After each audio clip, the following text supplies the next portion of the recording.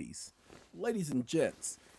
I got a couple of things to talk about, but we're only going to talk about one thing. We're going to keep this video focused on the unlawful detainer.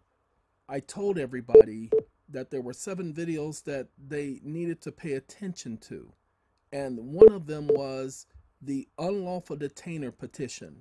This video is one hour, 39 minutes long.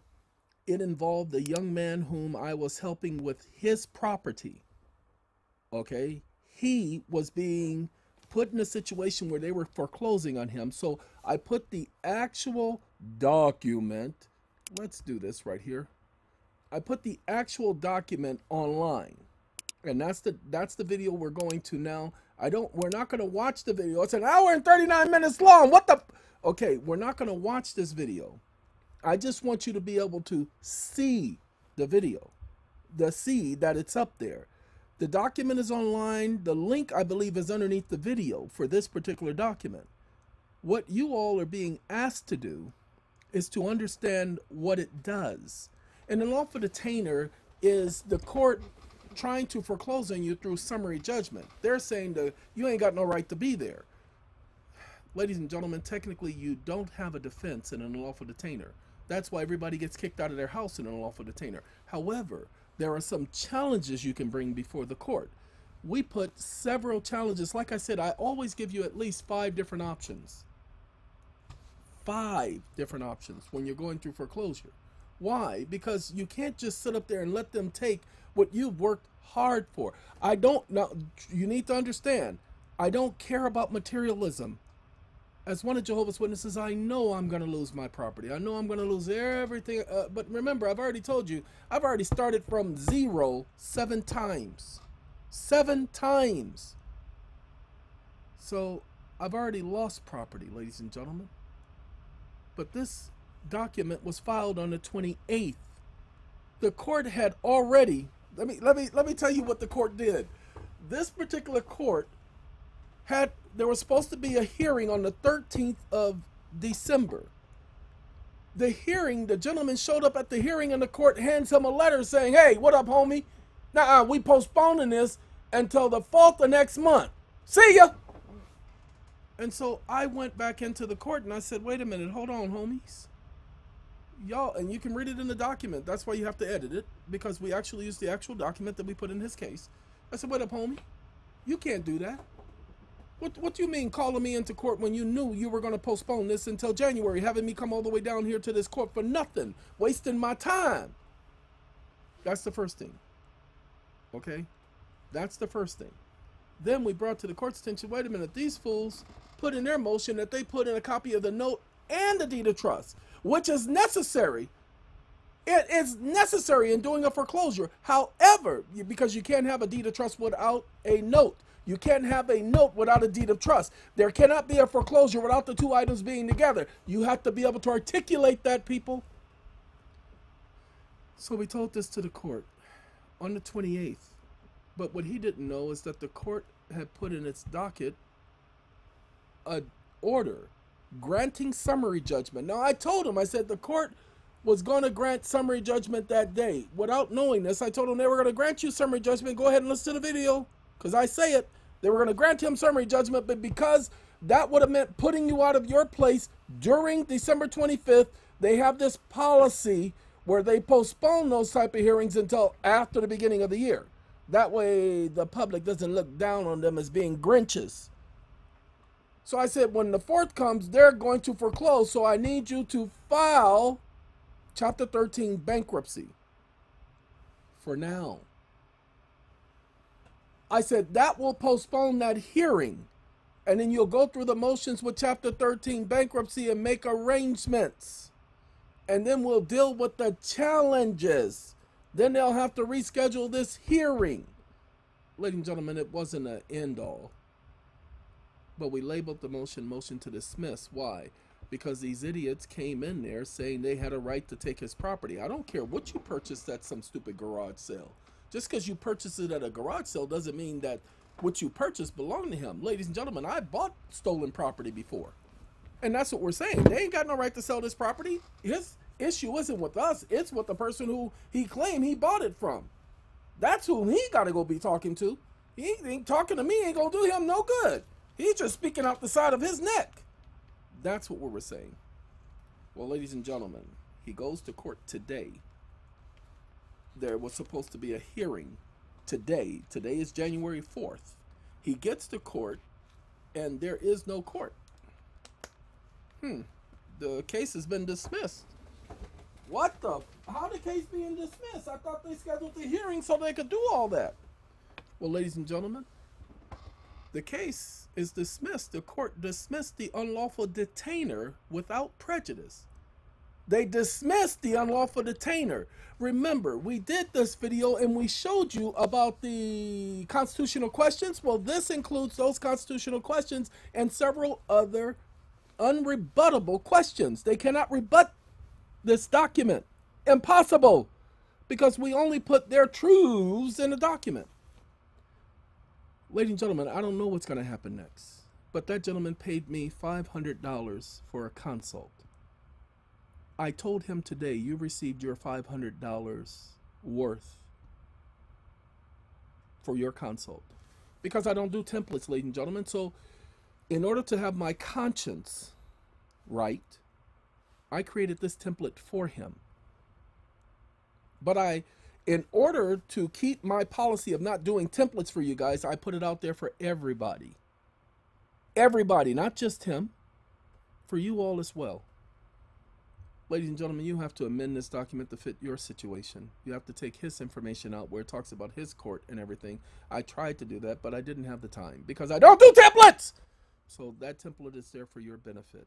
But his case, his unlawful detainer, he has shown me a copy of the court docket. He hasn't gotten a copy from the court itself, but he has shown me a copy of the court docket, which shows that dismissed by the court without prejudice. The unlawful detainer dismissed by the court. Matter of fact, let me pull it up again because I just had it up. So let me pull up this docket again and let me go to that docket entry. Uh-oh. I can't go to it that way because the way the document is on my computer, the way he sent it to me, it was too, uh, too, what you call it? What do I say? Too small. So I can't enlarge it um, but the fact that it says dismissed by the court and I do have it he did send it to me in word format but it simply says dismissed by court without prejudice. Okay so it says unlawful detainer now it says AC. I don't know what AC stands for, so I can't tell you because it's a different court. But it says unlawful detainer, disposition, date of disposition 12 13 2021, disposition dismissed by the court with prejudice. I mean, without prejudice, excuse me. And then it says at disposition, it said the attorney for them.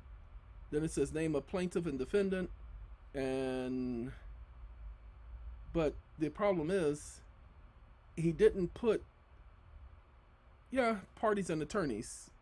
And then name changes for plaintiff and defendant. So apparently they're changing people's names. Uh yeah okay. Ladies and gentlemen i don't know fully everything because this is not normal. This is not how things go normally but I will can I will tell you and confirm that the case has been dismissed. Will that happen with you? Sorry, my desk, my desk that moves up and down was moving up and down.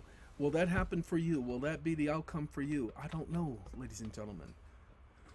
I just know that they've never rebutted any of my documents. They've said things like uh, nonsensical, but they don't say what the nonsense is. They'll say frivolous, but they don't say what the frivolousness is. They'll say meritless, but they don't say what the meritlessness is. They don't give specifics, they just speak in generalities. I just looked at a couple of cases that had my name on it where the courts are supposedly ruling against me, and they're not ruling against me. It, it, you when you read it, you'll see they're not ruling against me. They're just dismissing it. They're not ruling against me, they're just dismissing it. Like uh, SATCOM versus PayPal. Nobody's paying attention. I filed that arbitration with my name and SATCOM's name on it. I'm the one who was filing and petitioning the court, but the court ignored me and focused on SATCOM only. Okay, fine, focus on SATCOM. But I filed the petition. So the court did not mention anything about invalidating my arbitration award, my portion of the award, just SATCOM's portion. So thank you, court, for documenting that nobody contested my $30 million award. Appreciate it. No? Okay. So, ladies and gentlemen, I like I said, I can't tell you that it'll work with you, but I can tell you that this unlawful detainer video that was put up on uh, December 28th appears to have worked. Like I said, I can't tell you that it'll work for you, but I can tell you that it ain't gonna hurt you to try.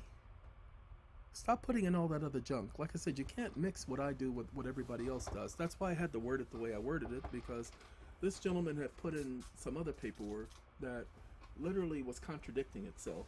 And that didn't make any sense. Look, ladies and gentlemen, I only deal with one thing, and that's facts. I don't deal with presumptions. A lot of you are operating on presumptions. Well, they're doing this and they're doing that, but you don't have any proof. You're just saying what they're doing. You're doing the same thing they do. That's right. You can't be like them. You ain't gotta sit up here and try to be like me to kick it. Okay? You ain't gotta lie to kick it, people. So stop trying to be like them. Just really gotta understand that. Stop trying to be like them. Just state what the facts are. And if they challenge you, then challenge them back. You see how I put in the thing about the SEC. Ladies and gentlemen, look at the SEC T1 license and see whether or not that trustee is selling your property and if he's registered with the SEC, he's violating the SEC, and you can file a complaint with the SEC. They will correct the idiot.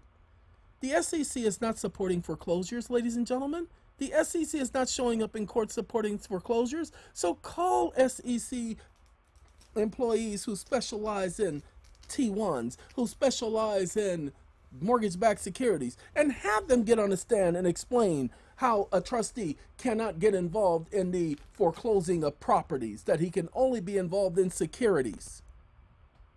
Go ahead.